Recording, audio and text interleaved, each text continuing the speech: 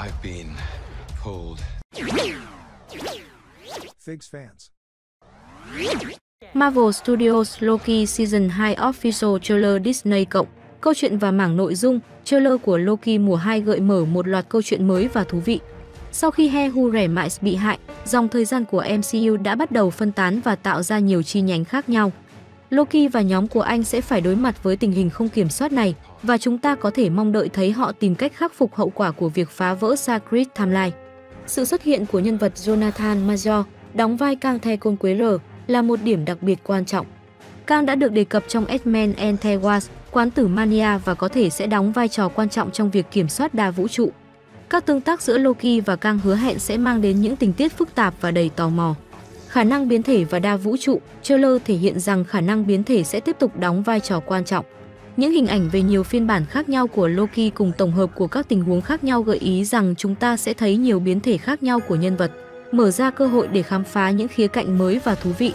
Khám phá vũ trụ mới, nhìn chung, trailer thể hiện rằng mùa 2 của Loki sẽ đưa chúng ta khám phá những thế giới mới và đa dạng hơn. Từ những cảnh quay tại Time Variance Authority đến các cảnh hành động trên các hành tinh và không gian khác nhau, chúng ta sẽ được đắm chìm vào những thế giới tưởng tượng đầy kỳ diệu và mạo hiểm. Khám phá tâm hồn của TVA, bên cạnh việc khám phá đa vũ trụ và những biến thể mới, trailer cũng gợi ý rằng chúng ta sẽ có cơ hội tìm hiểu thêm về tâm hồn và lịch sử của Time Variance Authority TVA. Không chỉ là cuộc chiến tranh giữa các thế giới, mùa 2 của Loki có thể mang đến sự phân tích sâu hơn về bản chất và mục đích thực sự của TVA. Trailer Loki mùa 2 là một lời hứa cho một mùa phim đầy màu sắc, đa dạng và kịch tính. Người hâm mộ có thể trông chờ một cuộc hành trình mới, nhiều biến thể độc đáo và những tình tiết bất ngờ đang chờ đợi trong vũ trụ điện ảnh Marvel. Sự phát triển của nhân vật, Loki từng là một nhân vật đầy quá khứ đen tối và mưu mô, nhưng qua thời gian và các sự kiện, anh đã trải qua sự thay đổi và phát triển đáng kể. Trailer cho thấy Loki vẫn đang cố gắng hiểu và tìm cách điều chỉnh sau sự kiện chấn động ở mùa thứ nhất. Sự phức tạp và sự mâu thuẫn trong tâm hồn Loki có thể sẽ được khám phá sâu hơn trong mùa 2 này. Hiệu ứng của đa vũ trụ, mùa 2 của Loki dường như sẽ đặt nhiều tập trung vào khám phá các khả năng của đa vũ trụ. Sự xuất hiện của các phiên bản khác nhau của Loki cùng với việc thấy các thế giới và thời gian khác nhau tương tác với nhau đã tạo ra một bức tranh phức tạp và kỳ diệu về sự đa dạng và khả năng không giới hạn của vũ trụ Marvel.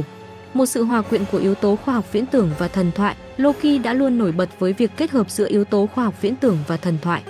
Mùa 2 tiếp tục mang đến những cảnh quay táo bạo và mạo hiểm, từ việc khám phá không gian đa vũ trụ đến việc tìm hiểu về các biến thể thú vị của nhân vật Loki. Sự kết hợp giữa những yếu tố này tạo nên một trải nghiệm độc đáo và thú vị. Tình hình khẩn cấp và tương lai không chắc chắn, trailer cho thấy rằng mùa 2 của Loki sẽ đặt các nhân vật vào tình hình khẩn cấp và không chắc chắn. Từ việc đối mặt với các biến thể mới của Loki cho đến sự xuất hiện của những nhân vật mới có vai trò quan trọng, cuộc hành trình của họ sẽ đầy thách thức và mạo hiểm. Tóm lại trailer của Loki mùa 2 thực sự đã tạo nên một cảm giác kích thích và hứa hẹn nhiều điều thú vị. Sự phát triển của nhân vật, viễn cảnh đa vũ trụ, yếu tố thần thoại và khoa học viễn tưởng hứa hẹn sẽ làm cho mùa thứ hai này trở thành một phần quan trọng của vũ trụ điện ảnh Marvel. Người hâm mộ sẽ không thể không háo hức chờ đợi ngày 6 tháng 10 năm 2023 để tìm hiểu thêm về cuộc phiêu lưu mới của Loki và những bí ẩn đang chờ đợi trong đa vũ trụ này.